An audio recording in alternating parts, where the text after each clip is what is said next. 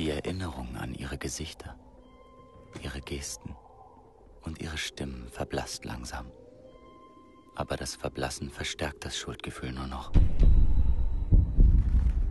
Der Führer hat mir versichert, dass er großes Vertrauen in unsere Nation hat. Unter der Leitung Großdeutschlands erwartet uns eine freudige Zukunft im geeinten Kreis der europäischen Völker. Wie heißt du? Karl. Ich auch. Karl Tammek. Vom Tammekhof. 22. September wurde mit der ruhmreichen Schlacht um Tallinn. Oberfeldwebel Juri Jögi, guten Tag. Ich glaube, das ist für Sie.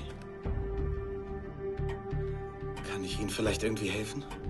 Ich kenne da eine Geschichte aus dem Ersten Weltkrieg von zwei Brüdern, die so zusammenklebten, dass am Ende eine Kugel sie beide getötet hat. Die Jungs sind ihren ersten Tag an der Front und du reißt schlechte Witze. Wie ist das hier in Ihre Hände geraten? Im Gefecht. Genosse Jögi, kommen Sie bitte mit. Du wirst mir in Zukunft jedes noch so kleine antisowjetische Verhalten melden. Egal ob einfacher Soldat oder höherer Offizier.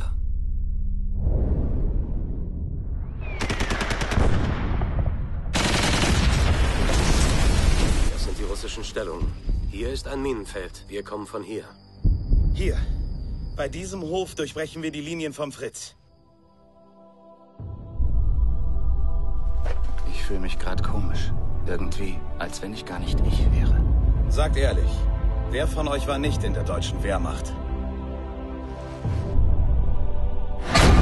Ja, aber was machst du, wenn plötzlich ein Este in russischer Uniform vor dir steht? Dein eigener Landsmann.